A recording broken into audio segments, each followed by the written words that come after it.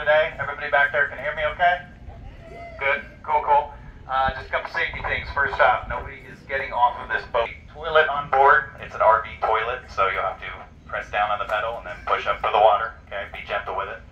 Uh, other than that, we're uh, we got a few people we're still waiting on, but the show must go on, so we're gonna head out.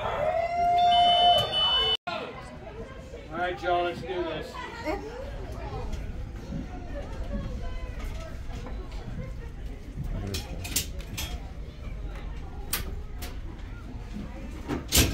Door on the bow there. Shut! The I'll bow. come and get you. Very carefully. Is that it?